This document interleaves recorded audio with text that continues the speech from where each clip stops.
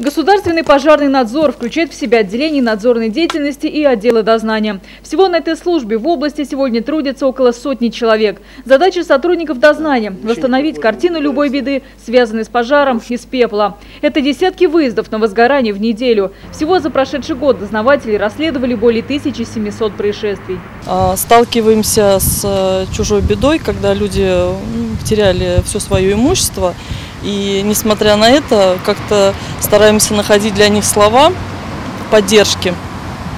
Вот, вот э, это тяжело. А так физически.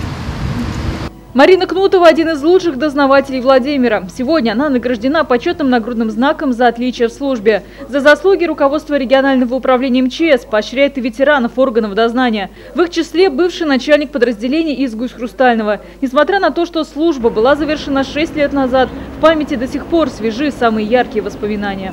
2010 год – лесные пожары, да, и 2006 год у нас было э, загорание на улице Люксембургской. Помните, такой колоссальный пожар – ну, в котором, в принципе, все службы и государственный противопожарный, и пожарный надзор принимали активное участие. И я думаю, что добивались приличных результатов в своей деятельности.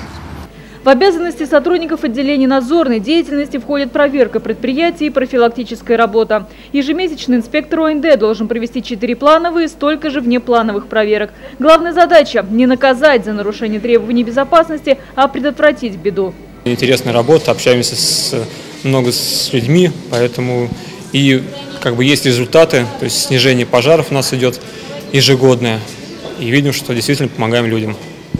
Из-за реформирования системы пожнадзора по всей стране уменьшили количество проверок объектов малого и среднего бизнеса в общей сложности на 13%. Пожнадзор идет навстречу сфере предпринимательства и снижает административные барьеры. А вот количество профилактических мероприятий увеличено. Особенно напряженный пик работы у инспекторов ГПН был в преддверии летнего сезона. Мы проверили в течение буквально трех недель все 189 населенных пунктов, э, прилегающих к лесным массивам, которые у нас имеются на территории области проверили 66 удовольствийских товариществ, проверили все э, детские загородные оздоровительные лагеря, 26, которые у нас прилегают к лесным массивам. За последние пять лет количество административных протоколов, составленных инспекторами Пошнадзора, снизилось почти наполовину, что говорит о возрастающем уровне сознания граждан. Лучшим инспекторам ГПН, а также ветеранам службы сегодня вручили ведомственные награды. А осенью в рамках ежегодных профсоревнований в нашем регионе будет вновь выбран лучший инспектор надзора и лучший дознаватель, который представит представит нашу область на всероссийском уровне.